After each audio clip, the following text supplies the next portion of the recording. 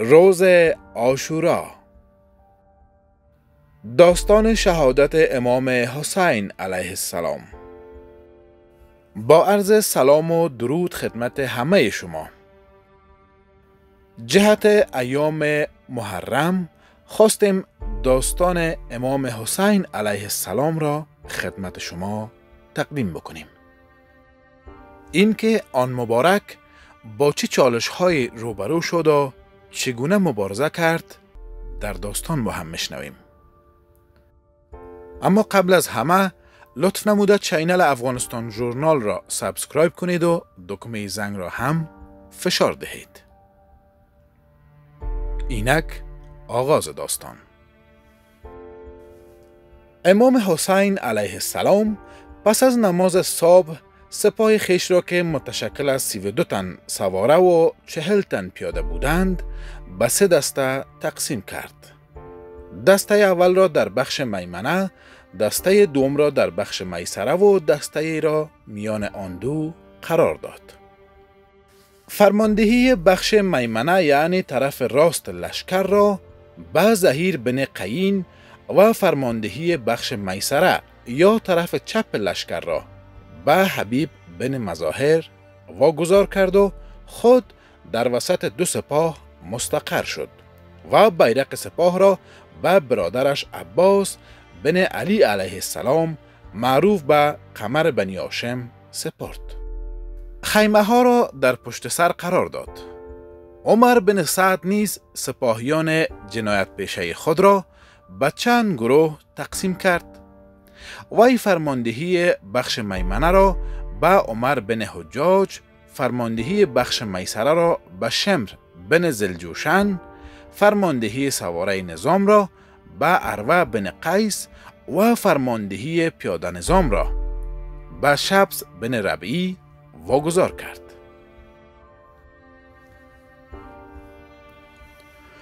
وی بیرق ننگین سپاه خود را به غلامش که به نام درید بود سپرد.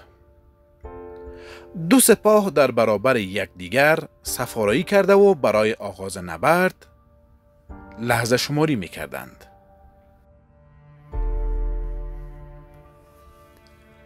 پیش از نبرد امام حسین علیه السلام برای پیشگیری از نبرد و خونریزی نیروهای دو طرف تلاش زیادی به عمل آورد و از هر راه ممکن می‌خواست از کشتار مسلمانان جلوگیری نماید و خون کسی بر زمین نریزد. ولی دشمن که مغرور از کسرت سپاه خود و قلت یاران امام علیه السلام بود به هیچ سرات مستقیم نبود و به هیچ پیشنهاد پاسخ مثبت و کارساز نمی‌داد. و خواهان تعیین تکلیف از راه نبرد و خونریزی بود.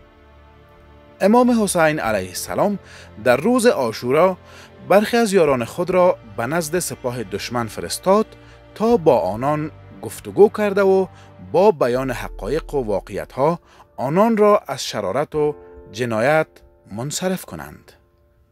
آن حضرت خود نیز بارها برای اندرز سپاه کافر پیشه دشمن پا پیش نهاد و با بیان خطبه های روشنگر آنان را به حفظ آرامش و عدم خونریزی دعوت کرد و از جنگ و مبارزه باز داشت ولی جز تعداد اندک که از خواب غفلت بیدار شده و حقیقت را دریافتند و به سپاه آن حضرت پیوستند بقیه آنان در زلالت و گمراهی خیش باقی مانده و بر آغاز جنگ اصرار می کردند.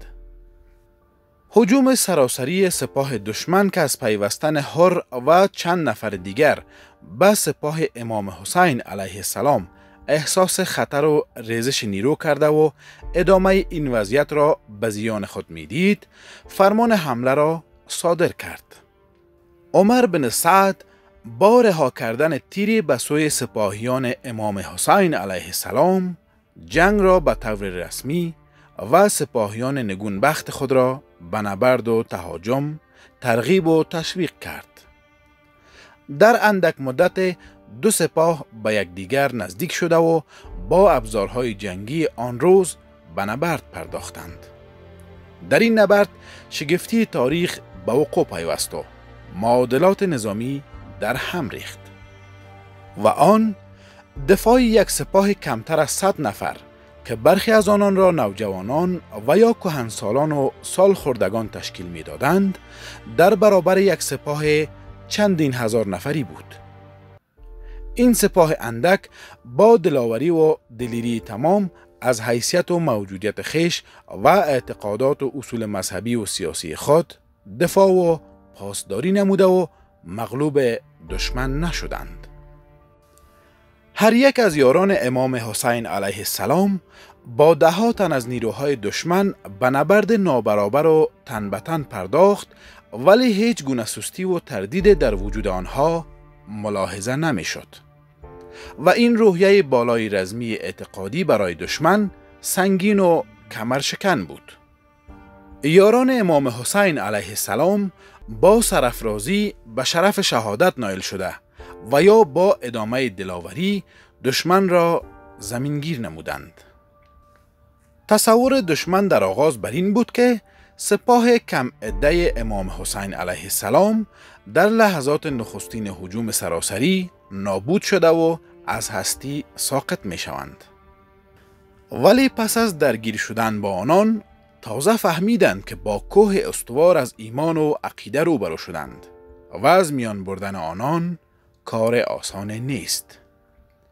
یاران امام حسین علیه السلام از بامداد تا عصر آشورا نبرد را ادامه داده و تا آخرین قطره های خون خود از قیام امام حسین علیه السلام پاسداری کردند. به هنگام ظهر یکی از یاران امام علیه السلام به نام ابو سمامه سیداوی آن حضرت را متوجه وقت نماز ظهر کرد. امام حسین علیه السلام که به نماز اهمیت ویژه می‌داد دستور داد که جنگ را متوقف کرده و همگی به نماز بپردازند.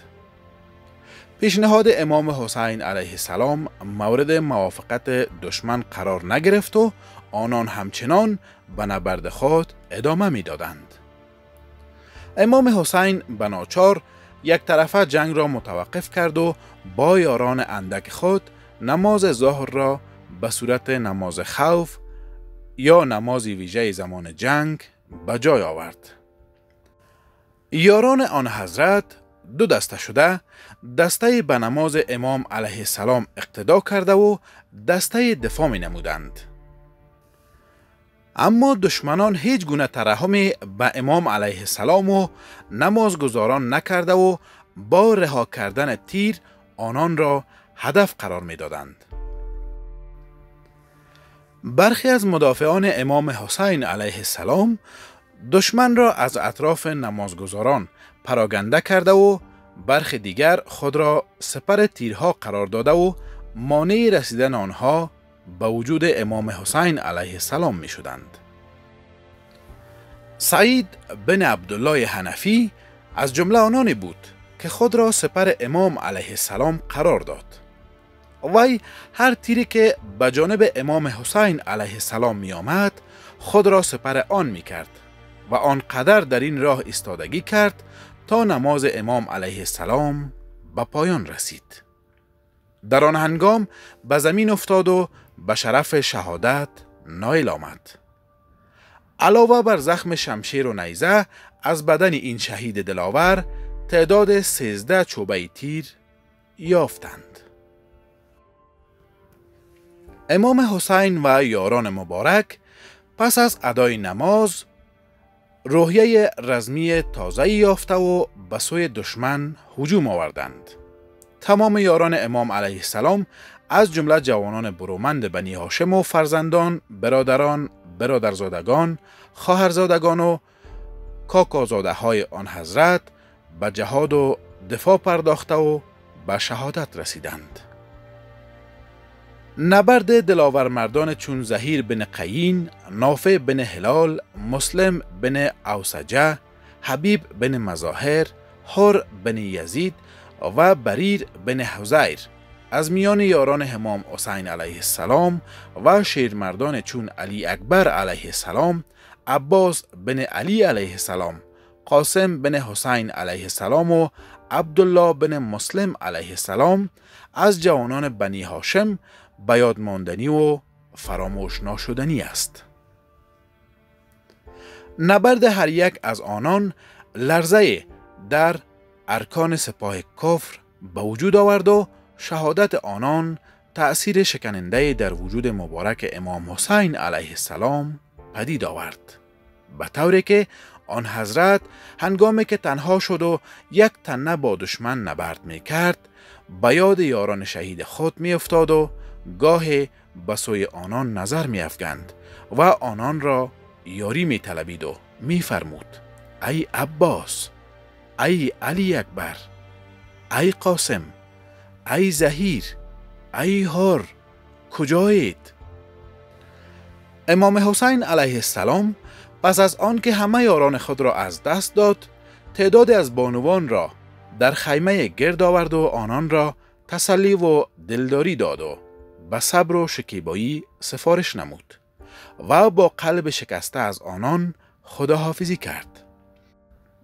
او فرزندش امام زین العابدین علیه السلام را که در بیماری سخت بسر می برد جانشین خش قرار داد و با او نیز ودا کرد و آماده نبرد با دشمن گردید.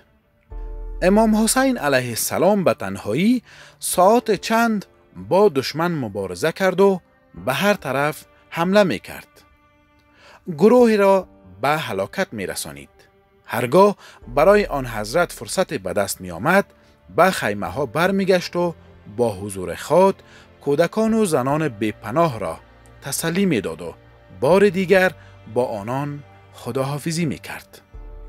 شاید مقصود آن حضرت از تردد میان خیمه و میدان نبرد برای آمادگی بیشتر بازماندگانش برای پذیرش شهادت آن حضرت بود.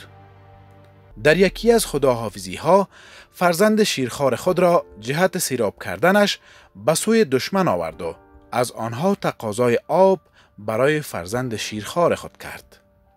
ولی سپاه سنگدل عمر بن سعد به فرزند شش ماهه او رحم نکرد و با هدف تیر قرار دادنش وی را در آغوش پدر غرقه بخون کرد.